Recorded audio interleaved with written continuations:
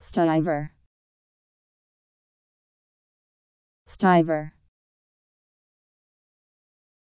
S T U I V E R. Stiver.